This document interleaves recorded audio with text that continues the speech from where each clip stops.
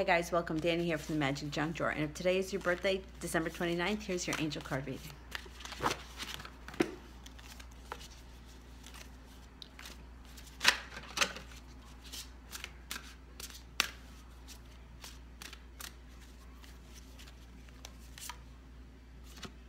The Ace of Earth. The inflow of abundance, promising business adventure, important documents or contracts. The Four of Fire. Contentment, peace and abundance, a happy home life, and successful completion of a project. And here is your future. The Ten of Fire, too much work, accept help from others. Life is out of balance and stress-related health concerns. Okay, so you've got the Ace of Earth, which there's an inflow of abundance and a new business adventure. You're very content. There's a lot of abundance here. You have a happy home life, but you're working so damn hard. You need to take at least at least an afternoon to yourself and enjoy it. Maybe on your birthday. Let's pull a playing card just to see if that's the truth. And this has been coming up for a lot of Capricorns that I've been reading.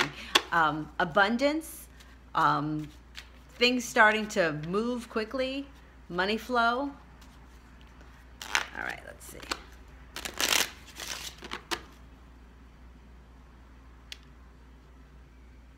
Nine of Spades. I hate to say that.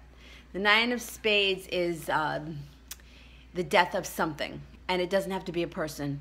It could be the death of anything, a job, um, a uh, maybe you go bowling every Tuesday night, and now you're not going to bowl anymore.